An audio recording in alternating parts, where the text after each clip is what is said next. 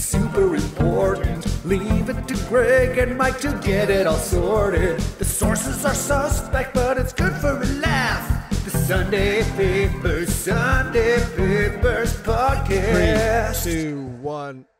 Read All right. all about it. Read. doing You're gonna We're read. We're reading about it early. Read all Yes. about it.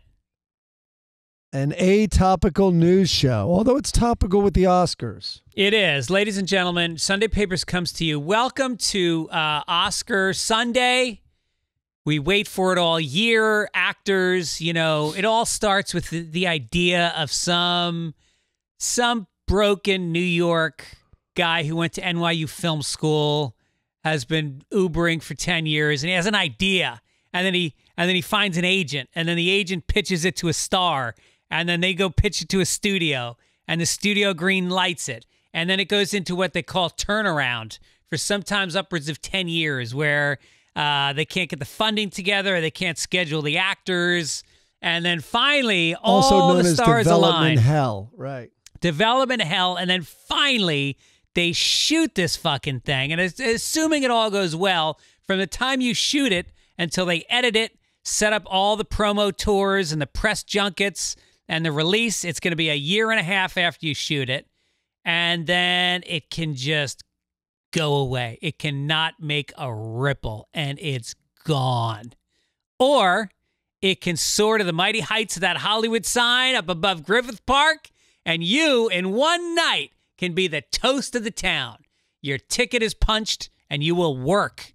You will get upwards of three new development deals, each paying six figures, and you will move to Hollywood. And you will date somebody way younger than you, half your age plus seven years. That's the formula, Unless you're a woman, sometimes it's twice as old. right? Seems to be the pattern. Yeah. Well, who is it that dates younger guys? Um, Oh yeah. Well, Keanu's uh, Keanu Reeves' longtime girlfriend is a little older than he is, I believe. People think she's much older because Keanu, she's not in Hollywood, so she's not probably dyeing her hair jet black every day and uh, and working out in three month training jujitsu sessions, getting ready for films. who's uh, who's Clooney's wife? I like her. She's all right. She's not in the business. No, international lawyer. She's Uh, fantastic. Yeah, Amal. I don't and know. I don't think she's young. I think she's probably up around his age. I doubt she's as old as he is. Not Well, like, you- give or you take. rem- you remember the Google joke, the, the the joke that uh, Amy Poehler and Yeah. uh, Tina Fey made at the Oscars, and they talked about Gravity, the Yeah. movie where George Clooney launches himself into space and a certain death, rather than spend time with a woman his own age. yeah, it's it was so great. All right, so listen, I'm gonna Google right now how old Clooney's wife is. You're gonna Google how old George Clooney is. Before we do it, what is your guess on the uh, how much younger she is? Well, first of all, I'm going to guess that George Clooney is he's got to be don't 62. don't look it up. Don't no no no don't look up any. Come on, first we D- do the bet. Oh, all right. I would say he's 52, and I would say she is 46, I'm gonna say she's ten years younger. I'm gonna say she's 42.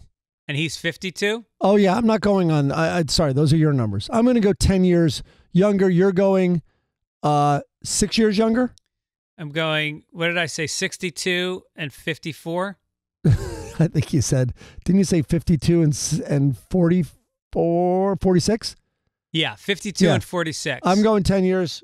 And all right, how old? Here I go. Is I, this is so pathetic. I should know her name, but Clooney's. Uh, Clooney, mine Oh. just popped up. He's 62. By the way, I meant 62. I didn't mean 52. Okay.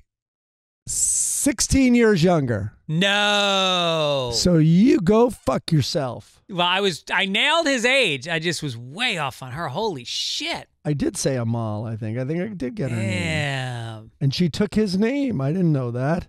I thought Well, she was more powerful than that. She's going to take a lot more than that someday. Oh boy. Yeah, I think Um, she's doing quite well for herself. She is. I think she does very well, and I wish them the best. Uh, I also wish the best to my brother, Bobby Fitzsimmons, on his birthday. He is 59 years old. Holy Three shit, my brother's almost Clooney. 60. Nice. God damn. Uh, happy birthday, Bobby. I'll have to give He him a seems call younger. today. He seems a lot younger than that. Everybody has always thought my brother was younger than me and better looking than me and smarter than me. You showed right. him. Well, he's uh he's a funny dude. I can't I don't know too many people that make me laugh more than him. He he is fucking we had so many good laughs as kids. I just remember uh, the. I bet, I didn't finish my thought. I go, you showed him. You have a podcast, and you're talking about him. um, I just remember. I don't know if it was your wedding weekend. It was some scorcher, and probably you probably have ten or twelve of these memories.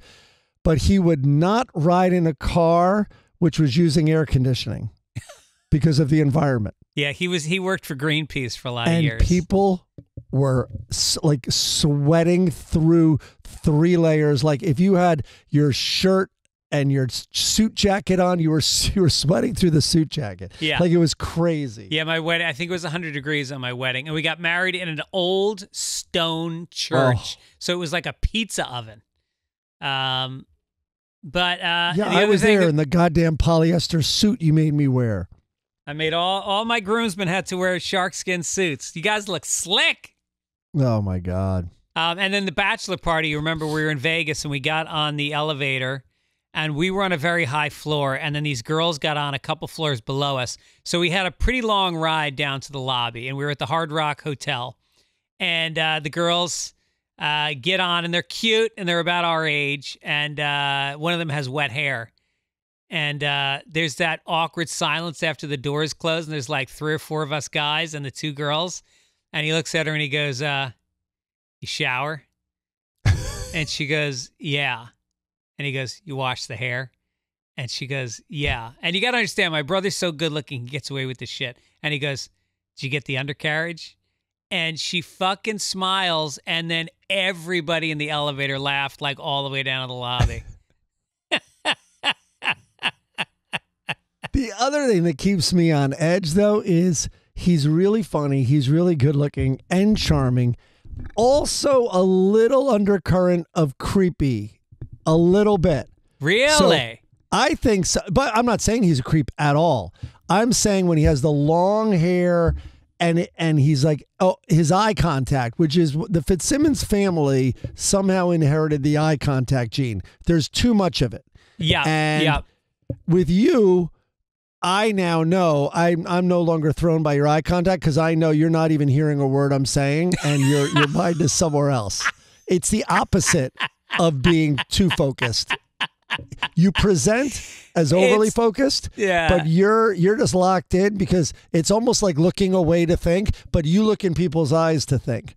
It's Bobby, though- for the ADD. Yeah. Bobby, though, the eye contact is going. So it's a long haired, one could say sometimes the hair looked a little Charles Manson and then the eye contact while saying, get the undercarriage. So- Yeah, yeah. yeah. What, what? And you have to question the creepy part? yeah. Uh, all right. Happy birthday, Bobby. Also, uh, it, I'm with my mom in the future. When this airs, I will be, wait, on the 10th? Will I still be in? No, I will be back and I'm in San Diego now. You will be in Europe on the 10th, right? I will. I will. I'm going there. Uh, well, I'm there. I'm there right now. You're there right now. I'm there right now, and hopefully, some people send in some recommendations for Amsterdam on the way there. You know, I was going to say it's also my stepmother passed away, but it's her birthday, and I'm wondering because more and more, like, has there been a good book or movie that has tapped into how much um, audio recordings and video recordings and like not evidence, but their their fingerprints are still around. Like I know a lot of people don't erase Facebook accounts of people who have passed away, right? Right. A lot of people hold on to the voicemail messages Yeah. of people who have passed away. right. There, there's a there's a great thing to be done with that. I, I'm I'm thinking, and I wonder if it's already. It seems like low hanging fruit. A movie about that? Maybe it is. It's oh, someone, I remember one where there's a woman who has her husband's voice, uh, uh, voicemail, and she calls it all the time after he dies. Oh, interesting. Yeah. Because I mean, think about all the books and movies we, you know, that are old school that we grew up with, where like it's letters or it's letters from the from wars. You know the what Notebook. I mean? Yeah. Yeah, and it's mementos and all of that. Well, now you're like hearing them full of life, and uh, even even if it's a an Instagram account or a website that has like messages from the departed or something. Or what if it was just like notes in your dead spouse's mouth that they wrote to you? Well, now you're counting on people having listened to last week's episode. and and do you keep the cranium and you op- and you open it, you pull up, you, you put your fi- two fingers through the eyes of the skull, you pull it up and you take the note out and you read a nice little thing. You have the- to go back. You have to is- go back and listen. The skull is charred from the uh, from the airplane explosion, so it, you got to be careful opening it. Story about my dad writing a note and putting it in his mouth because he thought he was Um, going to die on a well, plane. yeah, no, I have a whole idea. I won't get into it, but I have an idea about this that I'm gonna I'm gonna eventually raise money and and uh, retire on this great idea that I have about people dying. That sounds like years of procrastination, as Yep. we call it. Yep. Um, also, we're going to talk about the Oscars in a minute. Uh, the Yes. logo this week comes from Craig Godet, uh, who I believe did last week's as well. He is uh, a it. master. Killing it. Look at us. Of the I like me. I like me with a with the what do I have? A Van it's not a Van Dyke. I guess it's just a beard and mustache, but it looks different. Well, you know who those that couple is, right? Is it Ben Affleck and J Lo? Yes. Oh, okay. and I'm I'm J Lo, and I like me like that. I always thought when I was younger, I, I don't think I get away with it now, but when I was younger, I think I could have been a pretty good trans person. It's never too late. I had a And thin remember, body, very it's little on the hair. inside. What do you mean pretty good? You mean so now you're going to be uh, it's on appearances? You're going to be that shallow? Couldn't you be a good trans person no matter what you looked like, Greg? No, no. When I watched that show, Transparent, I was I never I ne- I was always like, this is. I, you want to be open minded to trans people, but seeing a, an a, an older man, he wasn't even a middle aged man. What's what's his name? Jeffrey Tambor? Jeffrey Tambor in drag. I just it was hard. It was very hard, and they and God bless that show. The more you watched it, the more it didn't seem weird. But Imagine the- if you didn't, uh, you didn't, you're a total outsider. You didn't know anything. Like, also, what's going to be another hit show is uh, about this, this, this patriarch and family is going to be trans. Oh, what actor are you thinking of? Oh, the one who plays Hank Kingsley. Um, no, I don't think that's a good idea. yeah, I don't think people are going to be on board that. yeah. It was good though. yeah. Uh, the song this week is from Emmett Hall. Fantastic. Nice. Really nice. Thank you, Emmett. And uh, if you want to send songs or uh, banners in for our show, we are now on our third year, and every week we've had a song, an original song, and an original poster. Uh, send them to fitzdog.radio at gmail.com. We love your submissions and Are we not in you. our? Are we not in our fourth year? Is it fourth? oh, it started during the pandemic. So we started in, around January 2020. So you're right. It's four. It's four years and a month. I got to lock down those dates. I realized, um, like you know, like you know, we have 9-11 and and you know, you have these dates in your head. It's a little blurry to me when the pandemic started, but it was April 2020. No, March. I remember I had a St. Patrick's Day show that was canceled because of the pandemic, and it was canceled four days before the show. So around March 13th is when the real lockdown started. all right. Yeah, I'm googling it.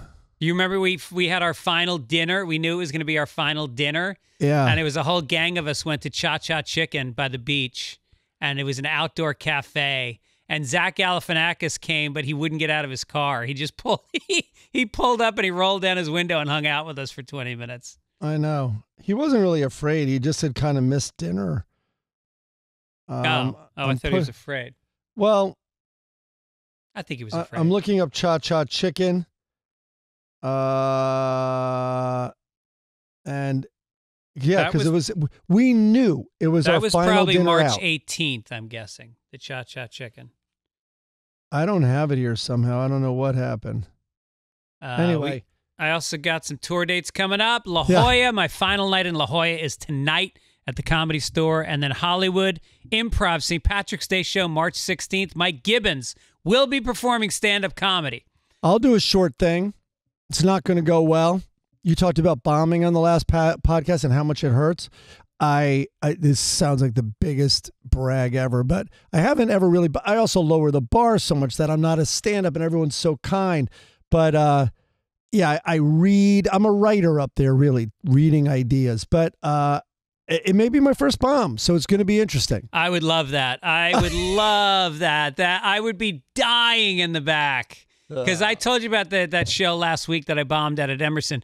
But the guy that opened for me, Jacob Feldman, who's a great comic, he's Oh, a I young guy. Jacob. I've been mentoring him for probably eight years. I've been helping this kid out. I, he's getting stronger and stronger. He, you think I bombed? This kid was dying. And I was laughing my ass off, partly out of nervous laughter that like I was about to walk into that same shitstorm Yeah. he was in. Um, also, did coming to Boca Raton, Florida, April 3rd, Tampa, Florida, April 4th through the 6th, and then Mamaroneck, New York, May 31st. Tickets at fitzdog.com. We also want to tell you that Sunday Papers is supported by Game Time. Yes, Uh, look. sir. You always get frustrated when you're looking for tickets because you think that you waited too long. And a lot of times, what game time shows you is that ticket prices can go down and they can let you know, and you can take advantage of flash deals and zone deals, whether you're talking about comedy, uh, theater, live music. They got it all. oh, That that was my game. Always was waiting, waiting. I remember buying Dodge when it was pretty new. I remember apps like that. I remember buying Dodger tickets um, in the parking lot, but you had to jump through so many hoops. The other the other sites or apps weren't set up for people that liked gaming the system like that. And along comes Game Time, who knows exactly how to do it.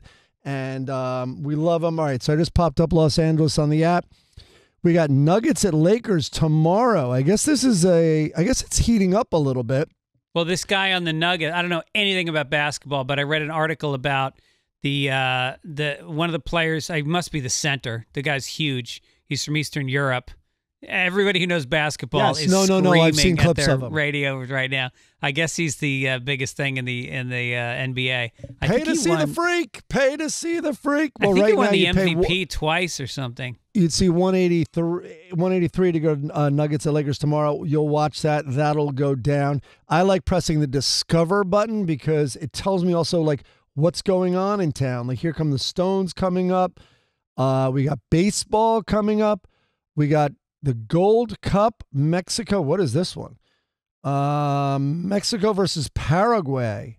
When is that? March Nicol- 3rd, 2 p.m. Nikola, Nikola Jokic, a Serbian. Um, he's nicknamed the Joker, uh, regarded as one of the greatest players and centers of all time, and one of the greatest draft steals in NBA history. I think Well, they got now him I for wanna almost no money. But he comes from this town where they've like ch- they got this this program where they have produced all these amazing uh, players from uh, from Serbia. So I'm sorry. Is the sponsor Serbia or Game Time? Oh, sorry. Go ahead. Anyway, you are going to get last minute deals, flash deals, zone deals. It's easy to find and buy tickets for every kind of event. You get the views from the seats. One of my favorite things about it is the price you see is the total that you'll pay. Unlike every other one where it's like, oh, that looks like a steal. Oh, wait, it's twice the price. Not with game time. It gives you complete peace of mind with your purchase. So take the guesswork out of buying tickets with Game Time. Download the Game Time app, create an account, and use code PAPERS for $20 off your first purchase. Terms apply. Again, create an account and redeem code PAPERS for $20 off. Download Game Time today. Last minute tickets, lowest price guaranteed. Guaranteed. Uh, also, support for Sunday Papers comes from Delete Me, and Delete Me is Yes, it's- please. There is a time and a place for a business to emerge, and this is it. Delete Me. I mean, if you've been the victim of an identity theft, if you've been scammed, if you've been harassed, are you annoyed by spam and robocalls? I mean, look, your personal information, it's out there. Uh, it's we're easy targets, but now with Delete Me, you can uh, remove personal information that you don't want online, and they they go out, they find it, they show you what they've done. They um, it's a subscri- it's a subscription service. Yep, And, I'm on, uh, you- I'm on the out of- website right now. It's so easy. You go there. There's a search engine removal, the digital footprint enhanced. They have a data breach scan. It has all these um, options on the website, and you delete yourself from the internet. You want to remove, for example, there's a lot of places out there I found because all of a sudden they give me feedback that my phone number was out there unnecessarily Yeah, in many in many locations and sites, and I wanted it removed. Done. Yeah, so it's amazing, and uh, you, you know they they they uh, it's it isn't a one time service. It's working for you all the time, constantly monitoring. Uh, data brokers hate delete me. Uh, when you sign up, they go back and they they scrub all your personal information from these data broker platforms. Uh, so it's it's great. Take control of your data and keep your private life private by signing up for Delete Me. Now, at a special discount for our listeners today, get 20% off your Delete Me plan when you go to joindeleteme.com slash papers. Use promo code papers at checkout. The only way to get 20% off is to go to joindeleteme.com slash papers and enter code papers at checkout. J O I N D E L E T E M E dot com papers. There we go. Nice. Real Um, nice. Sh- Should we get to this Oscar ballot that you're so excited about? We're going to go through right, the I have Oscar my picks. Pen, I have my nerdy. Meanwhile, I'm not even into these Oscars at all. Hasn't this felt? And I know the strikes delayed it. Hasn't this felt like the longest award season? And it's why they hate us. Like this self-congratulatory. It's just all the vanity. I hate it. Anyway, I love it. Let's fill out the app.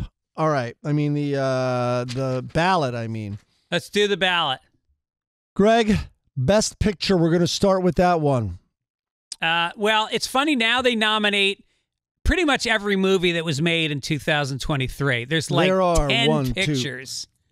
Six, seven, eight, ten. There used to be like five, and now I think the publicists got in and they go, "Well, we want our picture to be nominated, so you got to."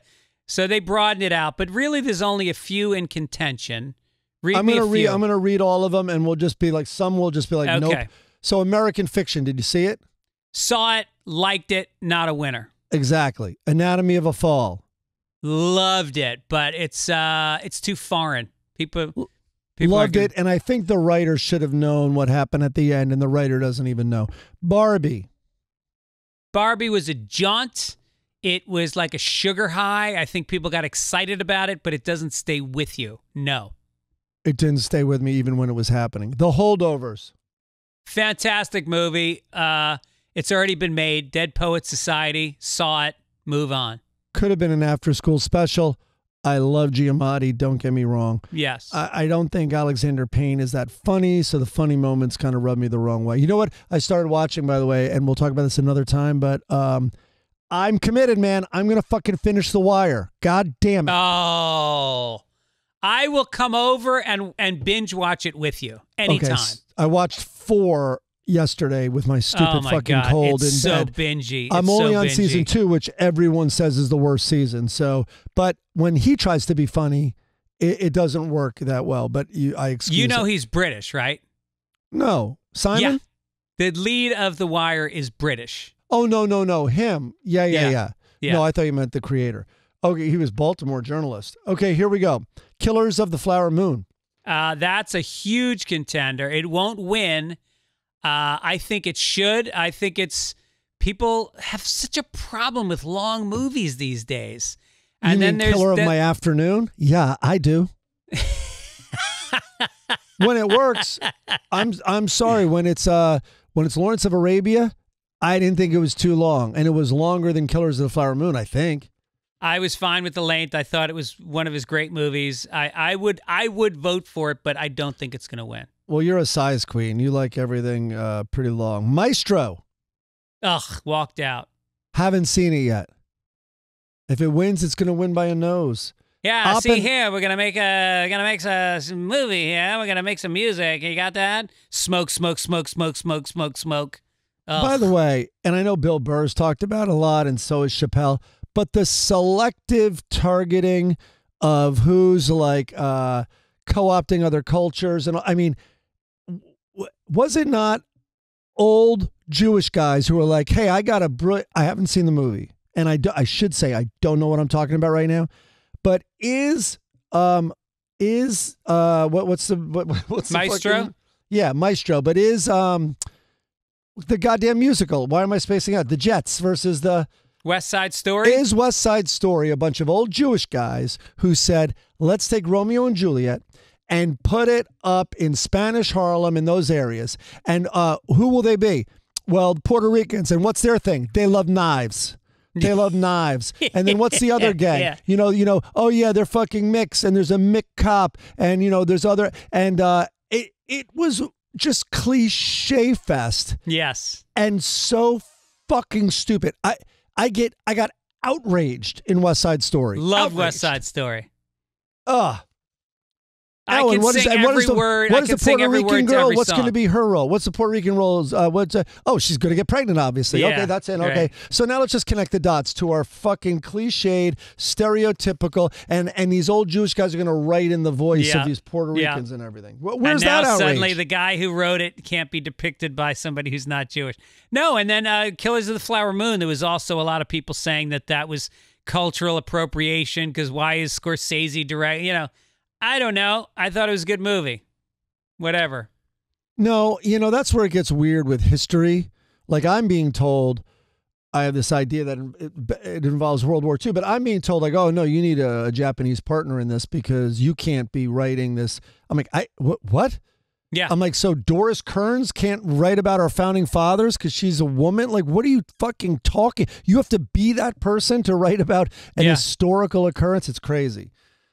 Is that What's the end of the podcast? What's I'm out of next? steam. Uh, Oppenheimer That's Uh, the let- winner. let's continue. Oppenheimer's the winner. It's been it's been winning everything at all the other award shows, and that's and Hollywood takes their cues from the Golden Globes and the Writers Guild Awards and the SAG Awards, and and they're, it's going to win. I'll also say it's the best movie I saw. Uh, Past Lives. Nope. All right, I saw Past. I saw Past Lives, and I, I heard went it on was Reddit. great. I went on Reddit, and it was good. And I went on Reddit, and someone, this woman goes, "All right, listen, it was good, but I showed up here to cry, and it didn't really get me the way I wanted to." Anyway, everyone was dying laughing. One comment down below is. Then the movie you should have showed up for is Us and Them, which I talked about last week. Us and Them is another it's subtitled it's another foreign movie about the same thing like what what could it have been and it is when you see us and them compared to past lives it's like seeing a rather like simple portrait and then then an amazing piece of art All right, listen. This isn't Siskel and Ebert. Let's rip through these. poor things No, I already said the winner. I already said the winner. okay i'm last one because i think i might watch it tonight Yeah. zone of interest have you seen it? Didn't it see it. i want Not to see it Not interested. best Zone director not interested. I'm going to read them really fast, rapid fire. Best director. You got Glazer, Zone of Interest. You got Lanthimos, Poor Things. You got Nolan Oppenheimer, Yeah, Scorsese, that's the winner. Killers. Nolan will win. Scorsese's in second place, I'm guessing, but Nolan will win. Newsflash for Greg: There is no second place.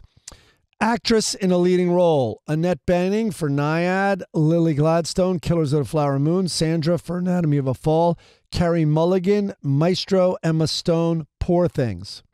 I think Emma Stone will come in second. I think the winner will be Gladstone, the woman from uh, Killer of the Flower Moon, because she Yes. was she was great and she's a little ethnic and they like that. All right, we are the same same thing. Although I have to say, Emma Stone was un. I didn't I love heard. Poor Things. Yeah, She's unbelievable in it. yeah. Okay, actor in a leading role: Cooper, uh, Colman Domingo, Paul Giamatti, Cillian Murphy. Is it Cillian? Uh, Jeffrey Wright. Cillian Murphy, he's on fire. 60 Minutes did a profile on him. Uh, he's got another big movie that's coming out. Uh, he's the guy right now. I'm gonna go Jeffrey Wright, Oh, he was fucking great in that. and I'm not gonna explain God, he was why. great in that. All right. Okay, so Mike, Greg. All right, we finally have a difference. Actress in a supporting role: Emily Blunt, Danielle Brooks, America Ferrera, Jodie Foster, Da'Vine Joy Randolph from The Holdovers. She won Emily the Golden Globe. Emily Blunt.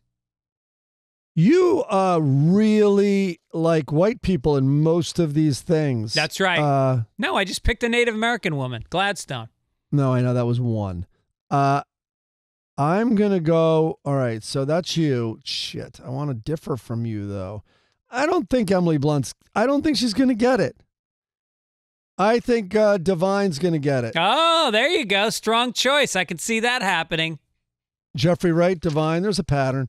Actor in a supporting. Um, by the way, this is commentary on Hollywood and how fearful they are here.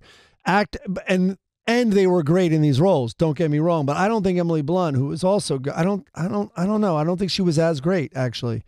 Actor in a supporting role: Sterling K. Brown, Robert De Niro, Robert Downey Jr., Ryan Gosling, Mark Ruffalo. Robert De Niro. I am wondering when the voting was cut off because if it was after the Golden Globes, no one would vote for Ryan Gosling again. But I think the same thing might happen. Why? What happened with Ryan Gosling? He was the only actor to win for Barbie. None of the women won. Oh no shit! That's hilarious. I love it. I Yeah. love it. Maybe Ferrara, Ferraro's won something. Maybe I don't know, but Mhm. but Margot Robbie did not win. that's hilarious. She deserved it. Great feat. I'm I'm going to go Ryan. Gosling. Yeah.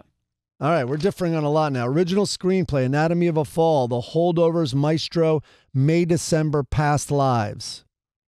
Past lives. Shit, it's either that or Anatomy of a Fall, which would come in second, you're thinking? Uh, you already gonna- criticized the ending of Anatomy of a Fall, so you can't vote for that. No, but people are not caring and they think that's because it's very French. It's like, it's up to you. You know, here's my script, but it's like, it's art. I will answer no questions. What, what do Yeah, you yeah. think? Yeah. Uh, I, what I think, I think you should do more work. Um, but Past Lives, they're both foreign. yeah. Um, I'm going to go past lives also because I don't Okay. think we can stop this Asian. I was going to say tidal wave. That's the wrong thing. This momentum.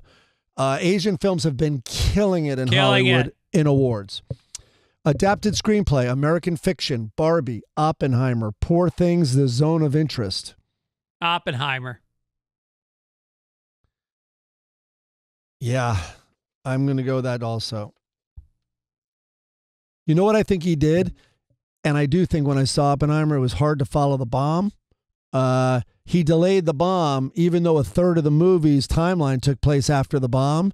He Right. delayed the bomb, you know, as much as he could. I thought that, I thought that was Well, that's how the book. Well, I read the book actually before the movie came out, and uh, I thought it did a pretty good job covering it. Obviously, there's a lot of stuff that was left out, and there was a lot of stuff that was romanticized. But um, I thought the timing, the pacing was similar to the book. Then it shouldn't win. Sounds like the book should win. Right. International feature. Uh, should we no, skip we don't that? need to do all that. oh, you're I not going to go for done. Io Capitano? I think we're done. animated feature. I don't care. Documentary. How about this? I love this. You have to vote based on the title. Documentary feature. You ready? Yeah. Bobi Wine, the people's president, the eternal memory, four daughters, to kill a tiger, 20 days in Mariupol. Twenty Days in Mariupol. Shit, I was going to say that too. Fuck. Because you've heard of it. That's the one you heard of. NPR just did a piece on it. Yeah. Uh, I'm doing it there because I think we're going to bet money. All right, original score. You ready? American Fiction, Indiana Jones, Killers of the Flower Moon, Oppenheimer, Poor Things. I don't know the move. I don't know the music any any of those. Did he do Han? Did Hans Zimmer? He works with no. Did Hans Zimmer do Oppenheimer? Yeah, I'm gonna say I'm gonna say Oppenheimer, just because it's gonna sweep. Oh, good. I'm going with a different one. I think Robbie Robertson is nominated for Killer. Oh shit. Okay. he, no, oh maybe, or was he musical like the guy who picked the song? Uh, I know. I'm going. I- I'm sticking to that. You can't. Original song, forget it. Cin- cinematography, El Conde. I should see El Conde. It's it was there. It was up before too. Killers of Flower Moon, Maestro, Oppenheimer, Poor Things. Killer of Flower Moon. I'm going Oppenheimer. because oh yeah, because they shot win. so many things practical. Yeah, you're right. I'm switching. No, I'm switching. no, you're not. No, no, you can't switch based on my, my intel. Christ. Uh, forget you want to do costume design. We know all of no, them. we're done. We're done. People have already. People are now listening to fucking uh, Will. Will, what's his name? And the other two bozos, Jason and Will. They're listening to those guys now. Guys right. got a hundred million dollars. What was that You don't called? You don't want to do editing? no. All right, let's get to the front page. Hold on. I want to do one one more fun category. We've heard of none of them. Okay. Hey, sweetie, I'm doing the podcast. It's documentary short. You ready? We just Yeah. have to go on names. The ABCs of book banning, The Barber of Little Rock, Island in Between, The Last Repair Shop, Nine Nine, and WIPO. I'm gonna go with the bookshop. I'm going with Nine Nine and WIPO. Yeah, that was that's what I was gonna go with, but All right, moving on. I wrote right. it all down. It's going to be right here for our next podcast in 40 weeks. Front Uh, page. Give me a crinkle. Here we go. Extra! Extra! Read all about it! Extra! Someone got impatient on the movie picking. Well, I just don't know how much people give a shit about us picking movies. They give a shit Oh, about how the much rest are we of it. betting, by the way? Oh yeah. How about a 20? Okay, twenty bucks. Because that that's enough to bum me out if I lose that to you. Yeah. Actually, I would lose even if it was a handshake. I, I'd be bummed out. Okay, so I, I try to pick some evergreen stories, which are stories that are not day and date and very topical. So this one I found all right. My parents' dementia seemed like the end of joy. Then came the robots. Okay, that is either a uplifting headline, which is what the story is, or that could be the most doom and gloom. Like I thought it couldn't get any worse. Then came the robots. Okay. I, I pasted a lot in here because I thought it was interesting. So, my mom was finally officially diagnosed with dementia in 2020. My sister and I had already figured out that my father also had dementia. He had become shouty and impulsive, and his short-term memory had vaporized. We didn't even bother getting him diagnosed. Okay. Maybe that's why he's shouty and impulsive. Yeah. if it's a slam dunk, isn't there a isn't it a doctor's visit? Yeah. I think uh especially since when you get older, look, everybody's brain starts to go. Everything you just described, I completely have. And so, what's the line where you know it's dementia? And then I heard it's actually a CAT scan. They can look at your brain and see dementia. Did you know that? No, I think I think they do see that oxygen. It's not getting brain parts, and I don't know what I'm talking about. Parts of the brain are not getting oxygenated. There's like uh, here, here's a good word. There's no activity. Nothing's firing out there. I can't remember shit. I don't remember anybody's name. I I do crossword every day. I do sudokus. I exercise. I don't know what else I'm supposed to do for my brain. It's just going. Yeah, die. I mean, you'll just fade to death. But you know, I wait. told you when I got my Cannot brain, wait. I got a brain scan. Did I tell you about that? When? so I call I, the most innocent call ever. I call the. I, I'll move this story along, but I call our general, our place that our union, you know, and usually it's like, yeah, there's an appointment like a week and a half from now or a week from now. So I said, you know, I'm smelling a cigarette smoke in the office, and but people are saying there isn't. They're like, please hold, and and I'm like, what? I'm like, okay. All of a sudden, hey Michael, um, this is uh, the uh, whatever the elevated nurse is. Like it's like nurse. This is the nurse practitioner, and can you describe that? Okay, can you come in today? I'm like, what the fuck? And I'm literally at my job. And I'm like, no, no, it's not a big deal. I think the guys in animation, the animators are smoking. It's coming through my air duct. They're like, yeah, yeah, but you should come in anyway. So it's called olfactory hallucinations, right? Anyway, winds up with a brain scan. The whole reason I tell this story is a unbelievably impressive, buttoned up, beautiful Asian woman doctor, a brain doctor is Hey now. looking at her computer and she goes, All right, well, it's good because they thought it might be, I forget if it's a stroke or a. Well, yeah, they say if you smell toast. I mean, that's always been the big thing. No, it's, but it's not a stroke. A str- there was a very interesting uh, thing separating the two. It was a seizure. I think a seizure is when you see, hear, and sm- or you sense things that aren't there, and a stroke is when you don't, uh, when you can't sense things that are there. I Oh. believe that's probably very barbaric, but it's something like that. Anyway, she's like, no, no, uh, I- it doesn't look like you've had seizures, or you know, mi- they're little micro seizures that can throw off. All of a sudden, I smell something; it's not there, and I'm like, okay. And then I'm like you. I mean, everyone on this, every listener knows we are demented, and we. It's a comedy of errors. What we cannot remember, and uh, where we just get stymied on just simple sentences where we can't remember the word. And so I go to her. I go, uh, "How does the rest of it look? Like, I mean, are things? I know you can tell now. Are things firing?" And so she looked at it. I'm not supposed to ask that. I'm there for one reason, and it's what it says on the paper. And she's a rigid, rigid, like professional. And she looks at it and goes, "Yeah, yeah, it looks good." Like that's it. yeah. Yeah. like uh, basically what I heard, almost literally what I heard was, uh, that's on a need to know basis, Yeah. Right, right, right. and you don't need to know what I'm Yeah. saying. Just keep living. Go go go Yeah. outside and have some fun. Go go play with the truck. It was weird when she said goodbye. She's like, "Hug your kids today."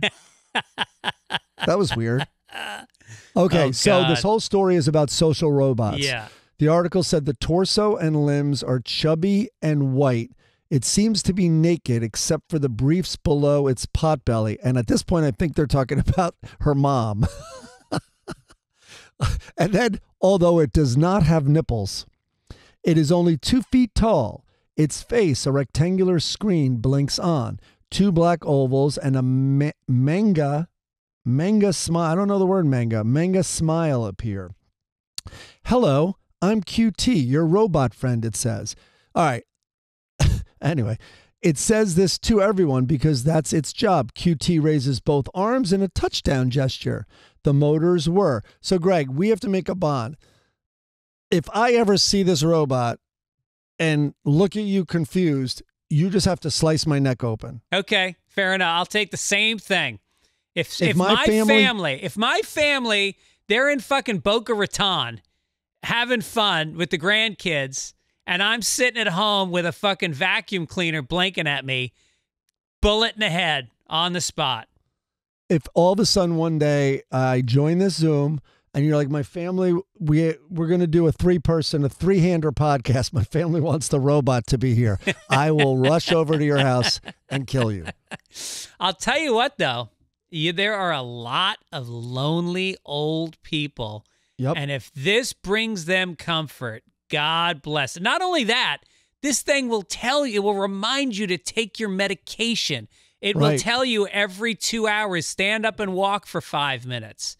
I mean, this is, I think this is fantastic. I love it. So this is a long article. Get this. You'd like this then because there's all of that and then they're saying this one's different.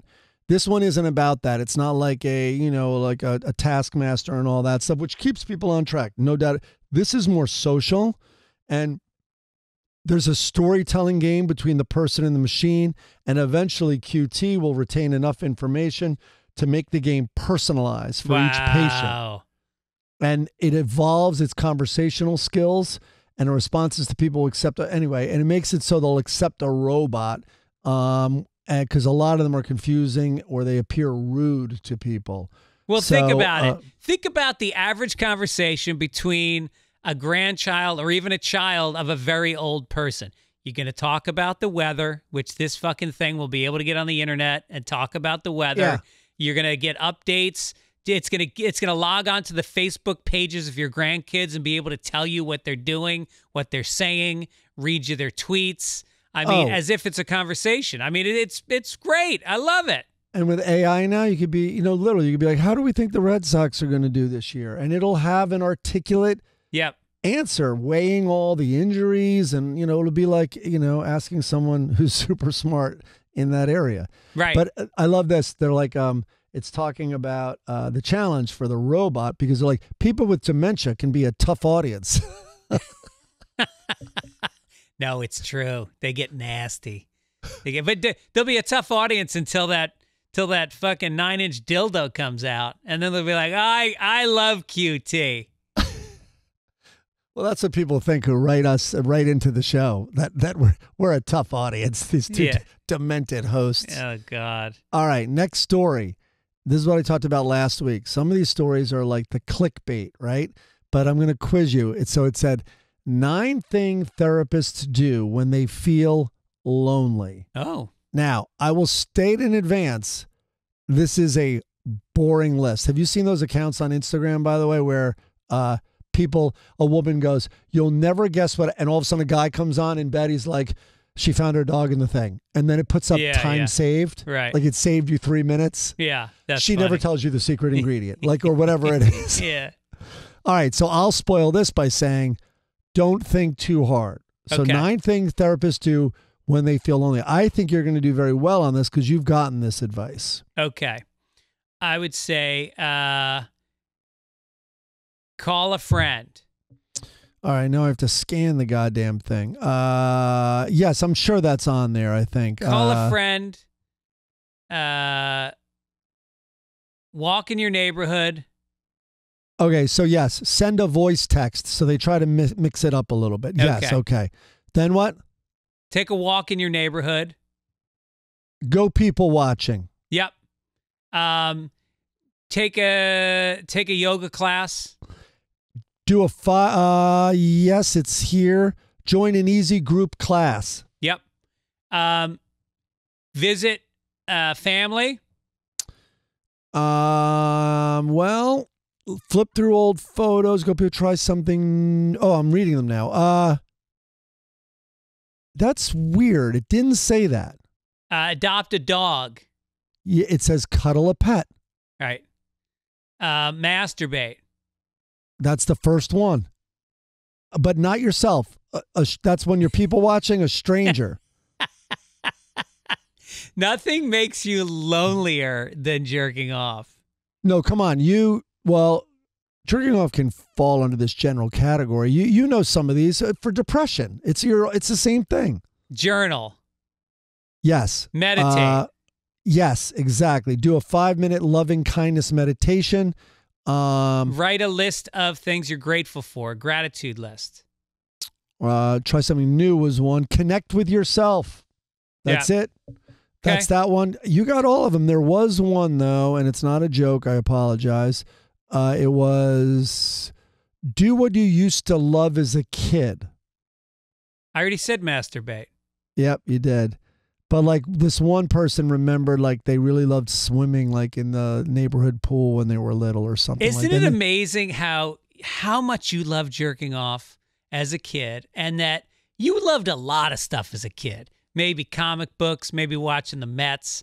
But over the years, ah, the Mets had a few bad seasons. I'm going to take a little break from baseball. Ah, I feel too old for comic books. Jerking off stays right by your side all these years. I never became a fair weather fan of that activity. Nope. Nope. The Yep. most consistent thing besides eating and shitting that I have done in my entire life. Exercise, go in spurts. Meditation goes in spurts. But God, the old faithful. I mean, you're saying the word spurts. Yep. Um, Um, all right, let's get to Make America Florida. here we go.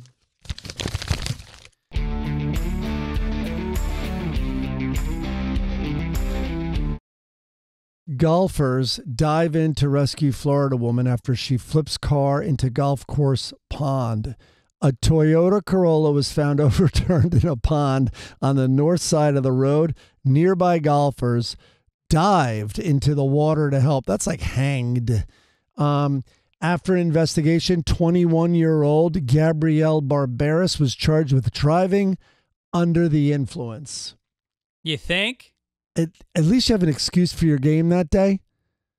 It's like that's why we're out here to get away from them. These women are driving me crazy.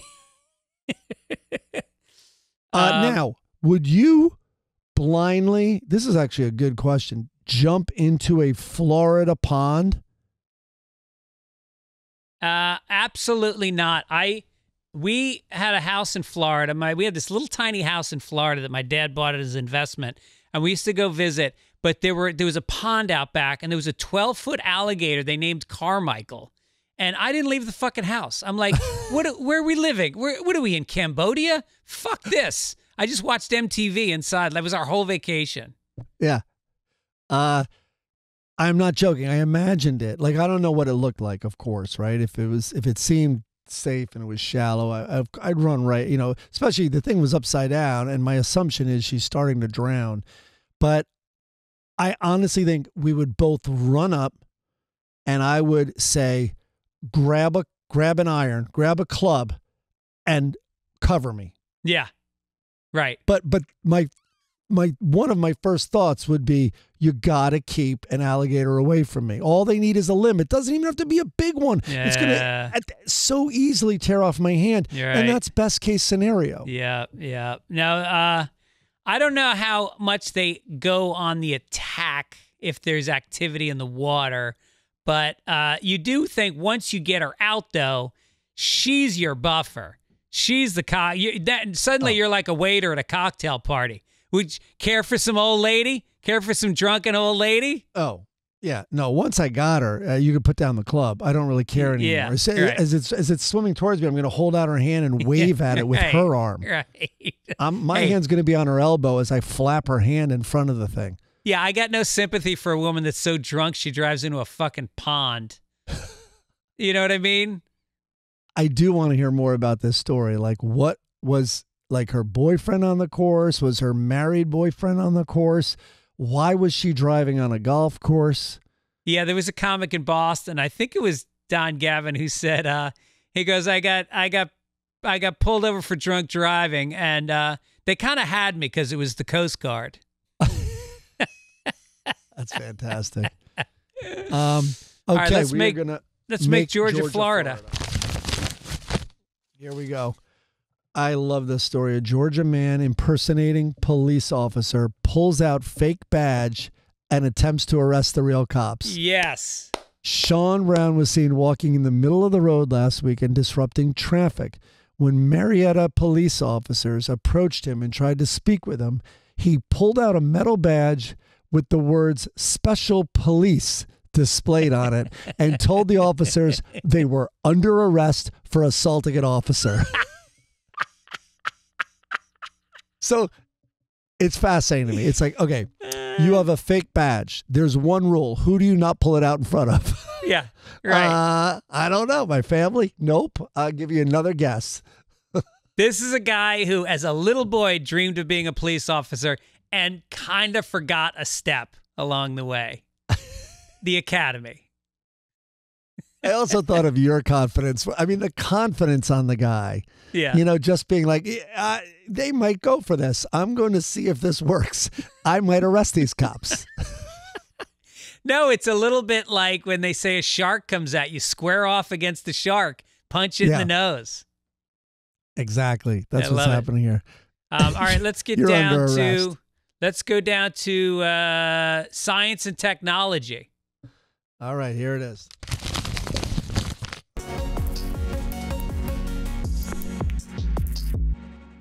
Okay, what do we got? Neurodegenerative neurodegenerative. If you can't say that word, you may you may You have, a no neurodegenerative business. You have no disorder. business doing this story. afflicts millions of individuals across the U.S. However, a groundbreaking discovery by researchers suggests a promising avenue for tackling these devastating conditions used coffee grounds. The research team has unveiled a potential game changer in the fight against neurodegenerative diseases. Their work centers around ca- caffeic acid uh, from coffee grounds. All right, so look, Does the robot serve them to you? Uh, yeah, right. Um, it, it is protection to brain cells against the damage triggered by various factors, including obesity, aging, and exposure to toxic environmental co- uh, chemicals. I don't know about obesity because if you're trying to trim down, whenever I get a cup of coffee, got to get the muffin. Nine out of 10 times, if it's in the window, glazed donut, I'm getting it. Uh, yeah, I don't. also coffee. Is this a groundbreaking discovery? Because coffee, there's a million studies that say there might be a link to imp- improving, you know, the Alzheimer's scenario for you. That that's Yeah. how I speak science. Um, so used. So what do you do with the used coffee grounds? I assume it's uh anal. Yeah, right? Yeah. Yeah. What are you doing with this? Um by the way, this is to help Parkinson's. Yeah. My Parkinson's is acting up. Can you hand me that hot cup of coffee? You haven't cleaned out the Mr. Coffee yet, have you? Can you bring it? Just bring over the uh, filter, the fi- Yeah. the wet, soaking, disgusting brown filter that'll ruin everything if I drop it. Will you pick up my prescriptions at Walgreens and Dunkin' Donuts? um, all right, let's get to business. Here we go. Yes, I love this story when I saw it. The title was The Empty Adderall Factory, and they had pictures of it. There's been a national shortage of ADHD medication. There's multiple overlapping causes manufacturing, labor issues, supply chain, blah, blah, blah. But this company, Ascent, claims there's another factor, which is the shutdown by the Drug Enforcement Administration. Ascent produced 12% of the country's generic version of Adderall and also large amounts of Concerta, Ritalin, and Vinase. Viva, Vyvanse, sorry, Vyvanse. Inside A- Ascent's 320,000 square foot factory, a labyrinth of sterile white hallways connects 105 manufacturing rooms. And in each room, teams of topless women just crunching Adderall and methamphetamine into pills for the rest of the country. Um, anyway, it goes on to point out that this thing, like for instance, the CEO was in one of these uh, rooms, and there was this hulking unit that he says is worth 1.5 million. I mean, that's how much it cost. But that one machine produced the Concerta tablets, and he said about 25% of the generic market would pass through that machine, No shit. and it didn't make a single pill in 2023. Whoa. Yeah. I heard one of the reasons why it's happening is because, well, I know ad, the the um the trademark or whatever they call it on Patent Adderall. thing? Yeah. uh, Copyright ran- or patent? It, it, yeah, the patent expired a year or two ago, and so suddenly the prices went down, and there's less incentive to produce it because the price has gone down so much. privatize, privatize. It always works out for the middle and the bottom. And then it's also a cycle because once the factory stops making it, then all the people in the factory that are on it aren't getting it. They're working less hard. Vicious circle. It's terrible. Yeah. Uh, what Um, is this one? Well, Kellogg's CEO Gary Pilnick has offered a controversial solution for cash strapped families who are struggling to afford their grocery bills. Just eat cereal for dinner. Quote, the cereal category has always been quite affordable and it tends to be great destination when consumers are under pressure. If you think about the cost of cereal for a family versus what they might do otherwise, it's going to be much more affordable. Pilnick's comments sparked a backlash online, with many Americans branding the rich CEO tone deaf. Uh, one TikTok user said, This is Kellogg's version of let them eat cake, using a phrase often attributed to the last queen of France, Marie Antoinette. Uh, do you remember that? I remember that line. Let them eat cake. That's what this fucking ass. Do you know what cereals Kellogg's makes? Froot Loops, Apple Jacks, Frosted Flakes, Sugar Pops. What? A, let's let this motherfucker eat nothing but cereal for one month, and then let's take a look at him if he's even alive. Yeah, it's like let them eat cake, but with more sugar than right. cake. Right. Cake is health food compared to this shit.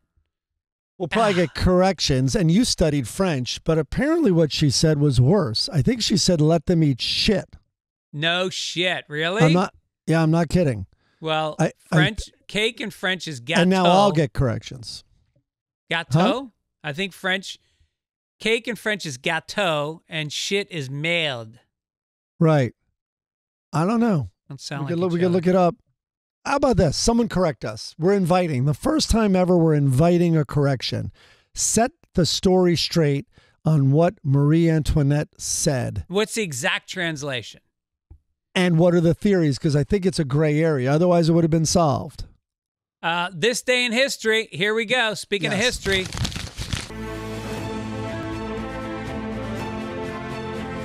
Okay, so last week, as we know, I read today's day in history for March 10.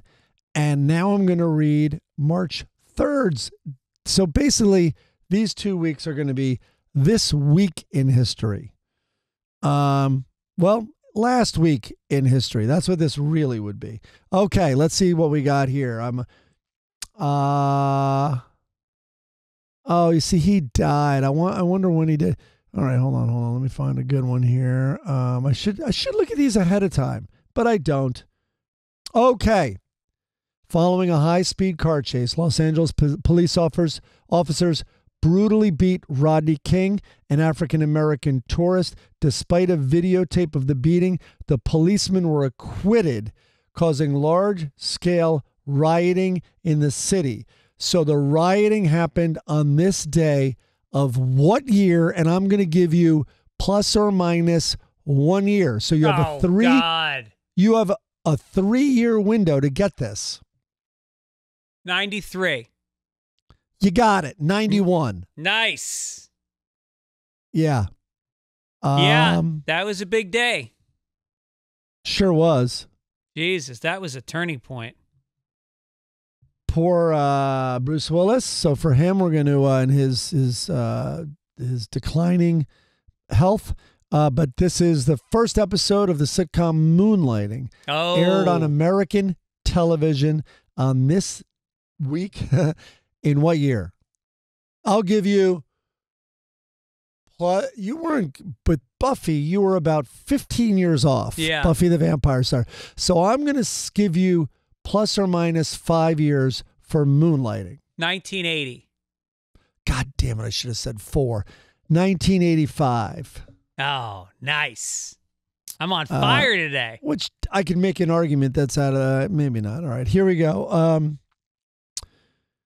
American bank robber John Dillinger made a daring escape from prison at Crown Point, Indiana on this day. I'm going to give you plus or minus 10 years.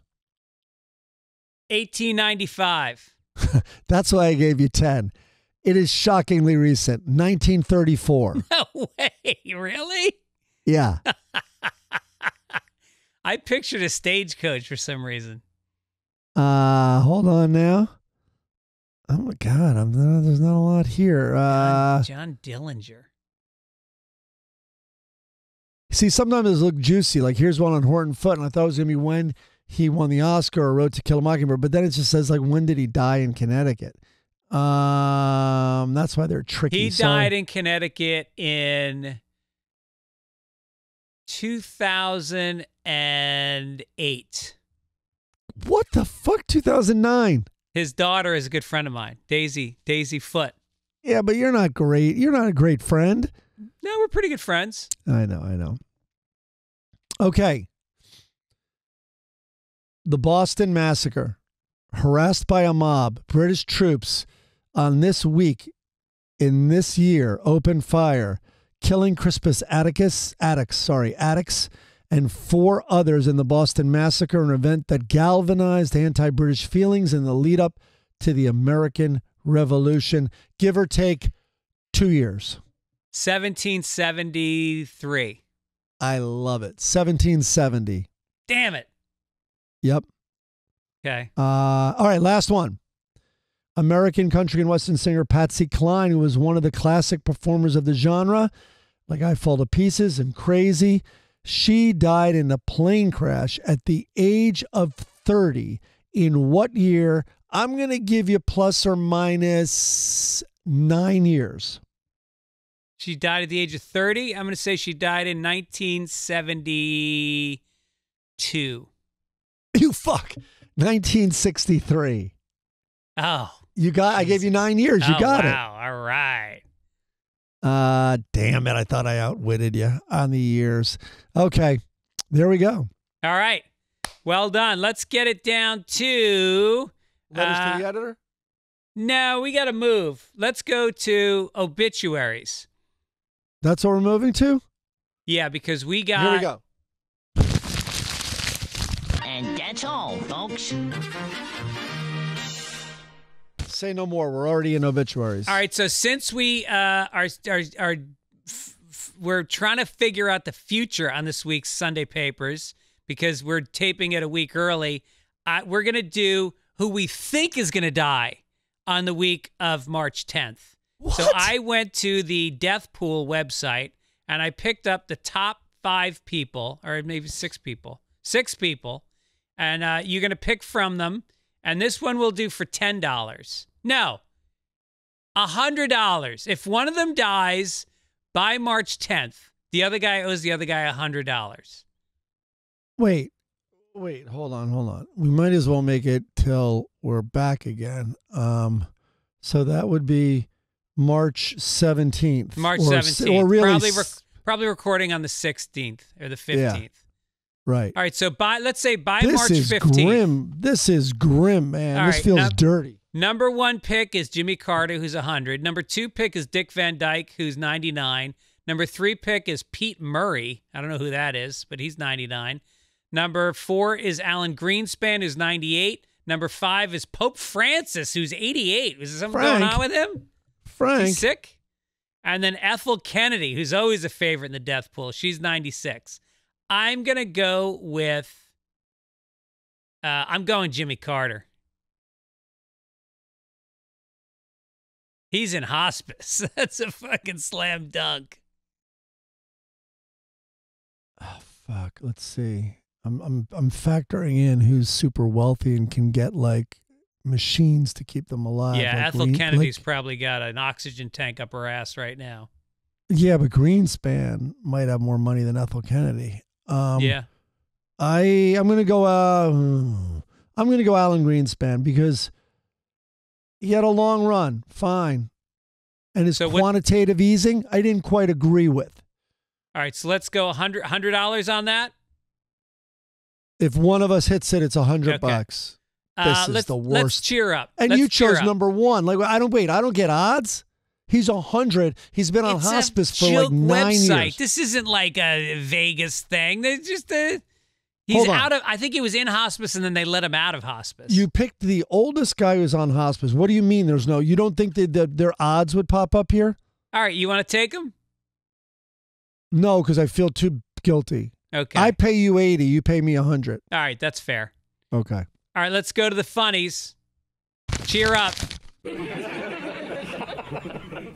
Wait, I didn't put a funny in here. Oh, I only put I only put a few in. We'll do them real fast. You they weren't. Oh, you know why? Because I wasn't. Uh, I didn't update the Google Doc, and I so I I saw you didn't put any in.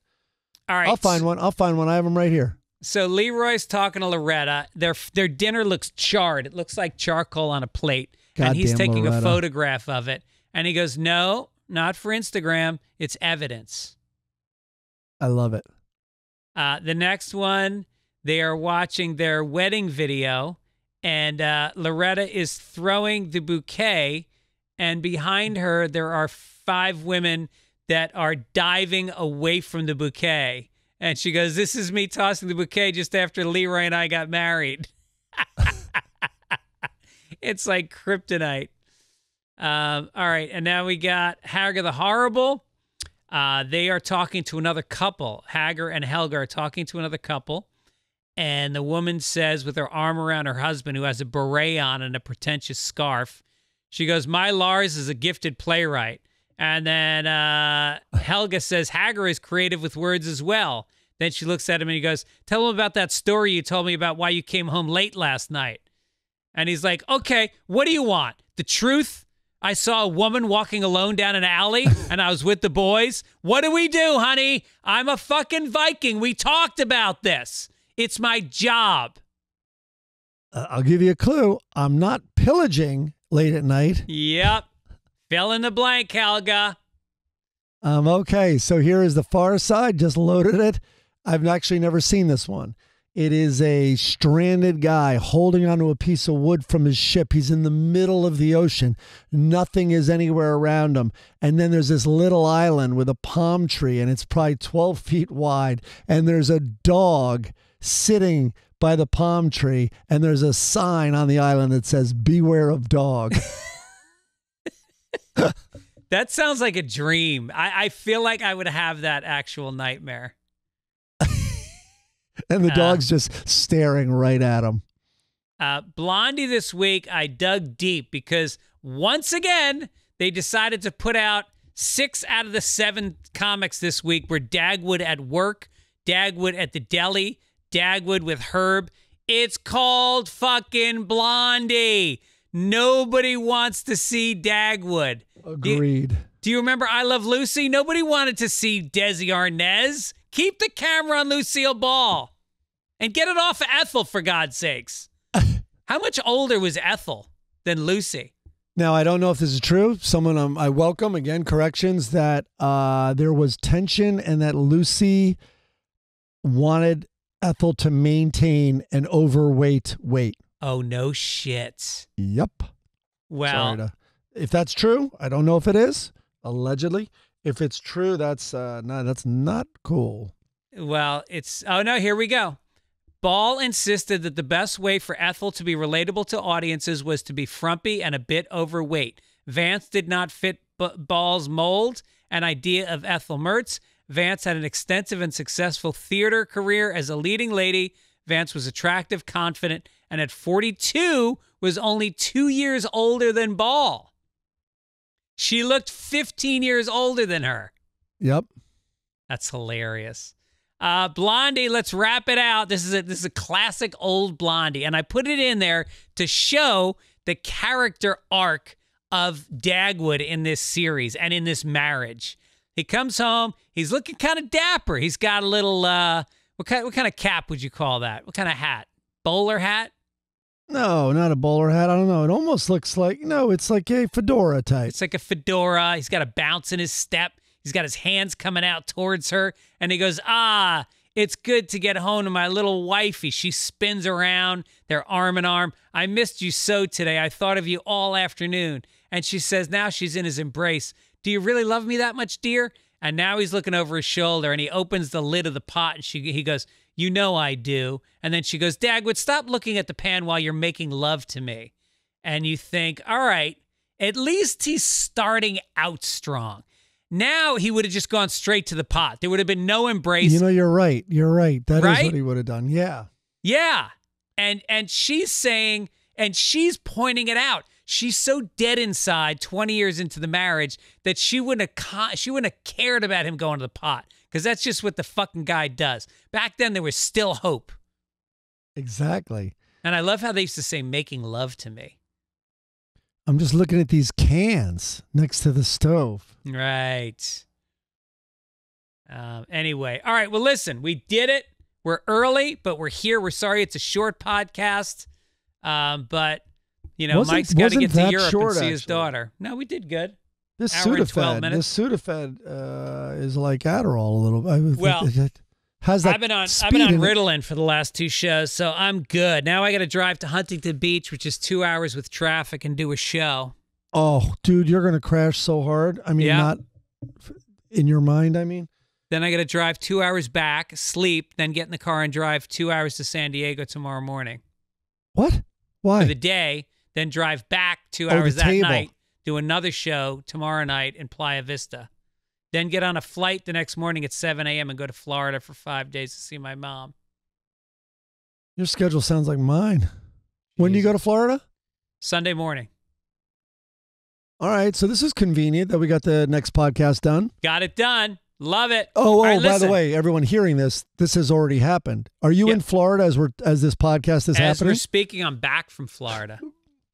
If you survive that craziness and you didn't literally crash on the I'll tell you what. Here's what I'm going to do. Florida, the next Florida man that we do on this show will be me observing a Florida man in the wild. I will bring a Florida man story back. This is what I my advice to you. After your mom's asleep, you get in the car, You drive to the nearest 7 Eleven. You get yourself a Slurpee. You get yourself some disgusting piece of food. You sit in the car and you will see it all Yeah. happen. E- either that or my mom got us tickets to go see the Yankees play the Florida Marlins in spring training. I think there may be some Florida men there. I think I think so. that one-two punch of uh, Staten Island and Florida. All right. I'll, I will bring back a Florida man and you bring back an Amsterdam man for the next episode. Oh yeah, I'll have Amsterdam stories for sure. Yeah. Um, All all right, right, safe travels. Give my love to Sophie, Yes, I will. and we will uh, catch you next time, everybody. Do we want to thank? Do we want to thank a sponsor or our Uh, listeners? well, we always want to tell people that you know you don't want all your information out on the internet. Uh, the the the best way to cut down on that is to get involved with Delete Me. If you do deleteme.com/papers, you will get uh, twenty percent off on your first month, and then uh, or is that on your whole plan? Oh, on the plan. Look at that. And then also Game Time, Game Time app, and use code PAPERS. We'll see you guys next time. Thanks to Midcoast Media. Take care. Everybody, take it easy. Take it easy. Knowing is super important. Leave it to Greg and Mike to get it all sorted. The sources are suspect, but it's good for a laugh. The Sunday Papers, Sunday Papers podcast.